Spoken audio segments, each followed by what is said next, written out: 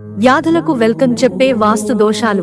వాస్తు శాస్త్రం మానవ జీవిత సౌలభ్యం కోసం మరియు ఆనందం కోసం ఎంతగానో తోడ్పడుతుంది.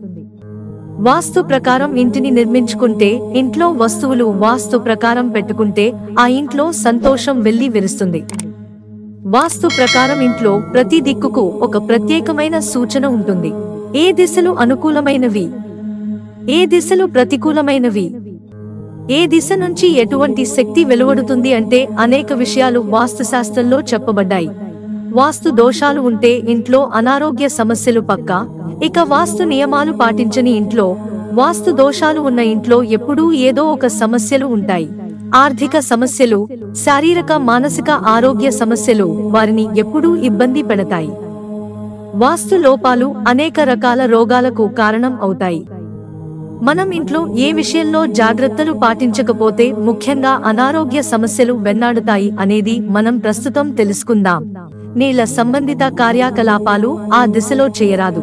వాస్తు శాస్త్రం అనారోగ్యాన్ని నివారించడానికి ఇళ్ళలోని వాస్తు దోషాలను నివారించడానికి రూపొందించబడిన అనేక ముఖ్యమైన విషయాలను మార్గదర్శకాలను కలిగి ఉంది.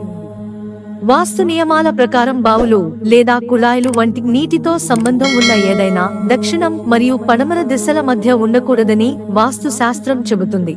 అసలు ఈ దిశలో వాషింగ్ మెషిన్ కానీ వాష్ బేసిన్ కానీ ఏర్పాటు చేయడం కూడా మంచిది కాదని సూచిస్తుంది. మందులు ఆ దిశలో పెడితే అరిష్టం. అంతేకాదు ఇంట్లో ఏదైనా జబ్బుతో వ్యక్తులు ఇబ్బందులు పడుతూ ఉంటే వారికి సంబంధించిన మందులను దక్షిణం వైపు పెట్టడం మంచిది కాదని చెబుతోంది.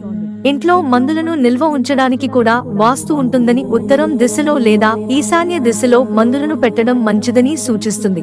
ఈ దిశలలో అవి పెడితే రోగాలు తథ్యం అంతేకాదు రోగాలతో బాధపడుతున్న వారు మందులు ఎల్లప్పుడూ ఉత్తరం వైపు మీ ముఖాన్ని అభిముఖంగా పెట్టి తీసుకోవాలని వాస్తు శాస్త్రం చెబుతోంది. ఇక ఇన్వెర్టర్ల వంటి పెద్ద పెద్ద పెట్టెలను బరువు వస్తువులను ఉత్తరం లేదా ఈశాన్యం దిశ వైపు ఉంచకూడదని వాస్తు శాస్త్రం చెబుతోంది.